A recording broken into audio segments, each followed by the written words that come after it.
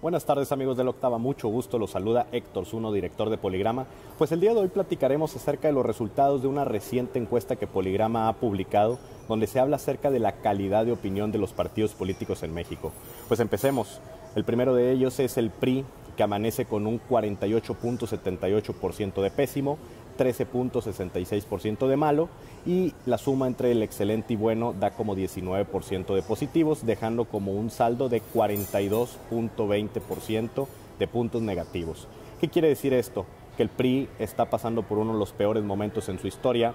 El PRI tiene una calidad de opinión negativa que no ha podido remontar el, el presidente del partido, Alito Moreno eh, está pasando por una crisis, se ve en los resultados de las elecciones, algo tiene que hacer pronto el PRI, estamos a la vuelta de la esquina de las presentes gubernaturas y hablaremos en algún otro espacio acerca de qué resultados se esperan que ocurran en las próximas elecciones. Lo que sí es que el PRI hoy tiene un reto importante, lo que es calidad de opinión. Nos vamos ahora con el Partido Acción Nacional, que al igual que el PRI aparece con un 50.72% de pésimo, y un 14.16 mala. La suma entre los positivos es del más 23, sin embargo el resultado final del saldo que nosotros sacamos es un menos 41. Al igual que el PRI, menos 41, menos 42, lo que es, lo, como lo ha comentado el, el presidente Andrés Manuel López Obrador, el famoso PRIAN hoy está muy mal evaluado por la ciudadanía. Como todo, hay nichos en donde pueden lograr tener espacios, pero a nivel nacional la foto luce poco favorable para los partidos Acción Nacional y el PRI. Luego nos vamos al partido Morena. Morena está a la inversa que el PRI y el PAN. Aparece en un más 27% en lo que respecta al saldo. Solamente tiene, bueno, aparece con un 32% de negativo, un 24 más un 9 aproximadamente da como un 32, 31, pero en los positivos el excelente de 41.95 y el 19 te da como saldo un más 60 de positivos, la resta de los positivos y los negativos te dan un más 27. Recordemos, PRIPAN menos 41 y menos 42, Morena más 27.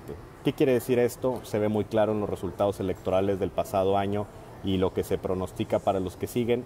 Morena, al tener una marca fuerte, les permite competir. Rápidamente nos vamos a Movimiento Ciudadano que está en un menos 18%. No me detengo mucho, lo que es importante es decir es muchos menos negativos que el PRI y el PAN, pero no termina de ser una fuerza política que ahorita esté en un saldo positivo. Habrá que evaluar qué está haciendo Movimiento Ciudadano, mejor que el PRI y el PAN, pero peor que Morena. El PRD menos 45%, la verdad es que el partido también está en una crisis, está cerca de perder su registro.